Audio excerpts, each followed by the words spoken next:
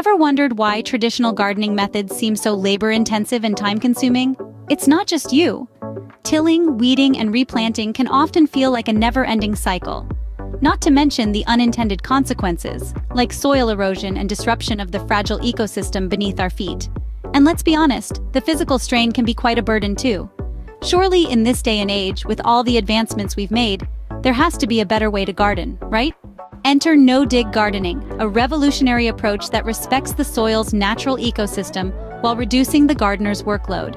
This innovative method is all about letting nature do its work, leaving the soil undisturbed, while we simply add layers of organic matter on top. In this way, no-dig gardening promotes soil health by fostering a thriving community of microorganisms, insects, and worms. These little helpers enrich the soil, leading to lush, thriving plants. Plus, it's a great back saver, significantly reducing the physical strain of traditional gardening methods. But the benefits of no-dig gardening extend beyond your backyard. It's a sustainable practice that minimizes soil erosion, conserves water, and reduces carbon emissions.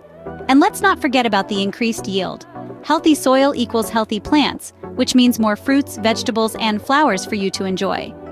No-dig gardening, a method that offers a multitude of benefits, not just for your garden, but also for your health and the environment. Ready to ditch the shovel and embrace the no-dig revolution?